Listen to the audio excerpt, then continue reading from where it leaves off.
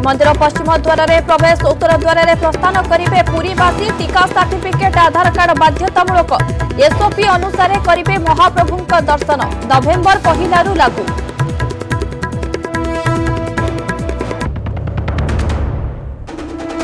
November ଏକରୁ ଖୋଲିବ ଯୁକ୍ତ ତିନି ପ୍ରଥମ ବର୍ଷ ପାଇଁ କଲେଜ ପନ୍ଦରରୁ ଆରମ୍ଭ ହେବ ପ୍ରଥମ ବର୍ଷ ପିଜି ପାଠପଢ଼ା ସବୁ କୁଳପତି ଓ କଲେଜ ଅଧ୍ୟକ୍ଷଙ୍କୁ ଚିଠି ଲେଖିଲେ ଉଚ୍ଚଶିକ୍ଷା ସଚିବ କ୍ଲାସରୁମ୍ ପାଠପଢ଼ା ସହ ହଷ୍ଟେଲ ବି ଖୋଲିବାକୁ ନିର୍ଦ୍ଦେଶ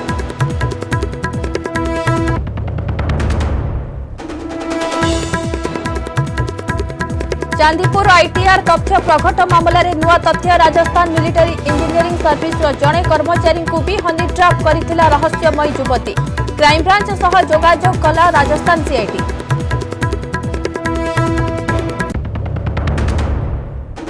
ଭଦ୍ରକରୁ କୋଟିଏ ଟଙ୍କାର ବ୍ରାଉନ୍ ସୁଗାର ଜବତ ଏକ କିଲୋ ତିରିଶ ଗ୍ରାମ ବ୍ରାଉନ୍ ସୁଗାର ସହ ଗଣିଜାଙ୍କ ହସିନପୁର ଗାଁର ଦୁଇ ଜଣଙ୍କୁ ଗିରଫ କଲା ଗ୍ରାମାଞ୍ଚଳ ପୋଲିସ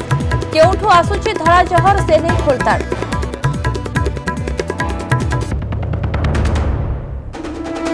ବାଲିଘାଇରେ ବିଜେଡି ଛାତ୍ର ନେତାଙ୍କୁ ପ୍ରଶିକ୍ଷଣ ପଞ୍ଚାୟତ ଓ ପୌର ନିର୍ବାଚନ ପୂର୍ବରୁ ବରିଷ୍ଠ ଦେଉଛନ୍ତି ଗୁରୁମନ୍ତ୍ର ଘରେ ଘରେ ଫାଇଭ୍ ଟିର ସଫଳତା ପହଞ୍ଚାଇବାକୁ ରୋଡମ୍ୟାପ୍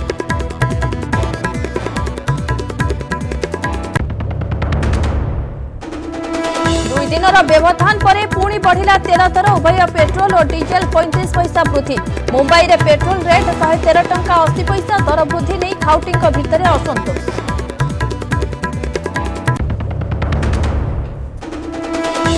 ମାଛ କରିଥିଲା କୋଟିପତି ପଶ୍ଚିମବଙ୍ଗର ଦୀଘା ମୁହାଣରେ ମତ୍ସ୍ୟଜୀବୀଙ୍କ ଜାଲରେ ଲାଗିଲା ବିରଳ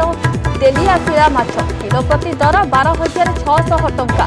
ତେତିଶଟି ମାଛର ମୂଲ୍ୟ ପ୍ରାୟ ଏକ କୋଟି ଟଙ୍କା